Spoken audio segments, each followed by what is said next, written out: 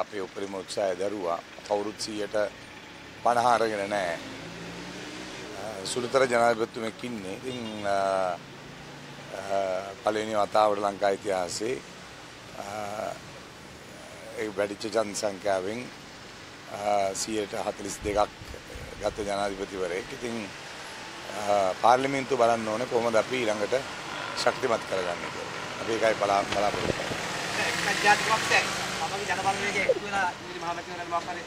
ඉතින් මේ දෙගොල්ලන්ගම එකම මතය දරන අයන ඉන්නේ. ඉතින් ඒගොල්ලන්ට එකතු වෙන්න පුළුවන් නම් හොඳයි. ඉතින් asianmirror.lk